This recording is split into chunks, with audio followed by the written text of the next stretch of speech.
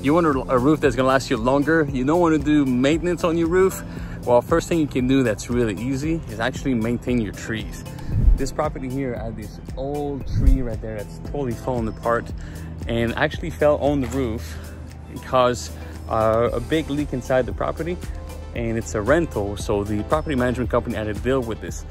They had to deal with drywall uh, replacement, uh, some insulation replacement, and it caused a lot of friction with the renters that did not notice the property management for a couple weeks. So by the time they got here, they already had mold growing inside. So it caused a lot of issues. So take the easy route. Everybody wants cut corners. One thing you can do if you don't have a maintenance plan with roofing contractor, look at your property, look at the trees that you have on your property, see how much damage it could cause. Easy one to do. Thank you.